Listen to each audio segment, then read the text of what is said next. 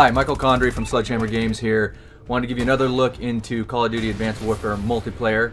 Uh, in this chapter of Call of Duty Advanced Training, we're going to take a look at our brand new reward-based system called Supply Drops. This is Call of Duty's loot system featured in Advanced Warfare. Call of Duty is about earning XP, and that still is the backbone of our rank progression system in multiplayer. You know what it is, you know how to get it, and it remains. But with Advanced Warfare, we're rewarding players in brand new ways with Supply Drops.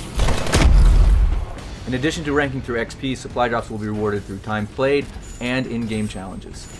Supply drops reward you with more than a thousand items, including weapon loot, character gear, and reinforcements. And all of these rewards come in three rarities, Enlisted, Professional, and Elite. Alright, let's dive into the first category, Weapons Loot. With literally hundreds of weapon variants out of the box, custom weapons can be earned through supply drops. These weapons not only look different and super cool, but modify the stats of their base weapon counterpart. Now, in Advanced Warfare multiplayer, players have an unprecedented amount of options to find weapons that best suit their playstyle. Base weapons feature a variety of custom options, where cosmetics and attributes vary, ultimately delivering nearly 350 custom weapons out of the box day one. And as always, you're able to customize your weapon with your weapon attachments. With more weapons and weapon variants than ever before, and new weapon classes, you can look forward to weapon loot whether it's fast fire SMGs or long range sniper rifles to the brand new heavy weapons class, including directed energy weapons. Along with weapons loot, supply drops reward players with character gear that allows for even greater customization of your multiplayer character.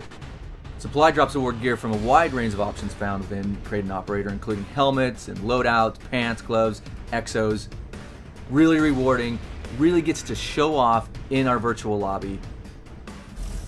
And finally, reinforcements. Players have the chance to be rewarded with special supply drops that allow one-time use items activated during the match at predetermined time intervals to give players things like perks and score streaks. These one-time use reinforcements can bring some real excitement to the match, whether it's additional perks or score streaks for those who don't often earn them. So as you can see, Supply Drops is a big new addition to Call of Duty multiplayer, and it rewards all players, new and veteran, with exciting weapons, unique character gear, and even gameplay items outside of the XP rank progression system. And Supply Drops give players more ways to customize to their playstyle. The best thing about Supply Drops is the more you play, the more you receive.